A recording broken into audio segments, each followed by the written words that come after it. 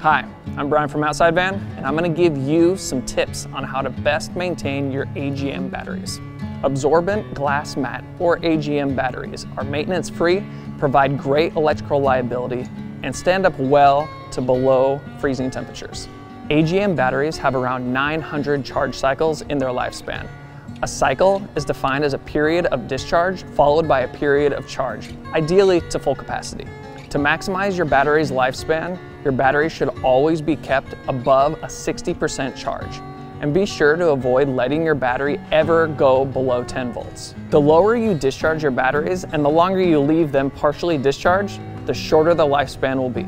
It's best to remember that to maximize your battery's life, you should keep them as close to fully charged as possible. When you partially charge AGM batteries, with time they will lose the ability to charge to full capacity. If you plan to store your van for long periods of time, be sure to leave your van plugged into shore power or check on your battery's state of charge every couple of weeks. Always remember that even if all the systems in your van are turned off, such as your fridge, lights, and appliances, your overall electrical system will lose about 2% per day. This is due to the diagnostic programs from your control panel that are functioning in the background at all times.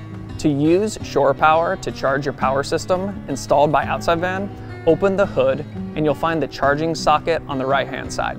Plug in the 15 amp locking shore power cord into the socket and then into the outlet you're drawing power.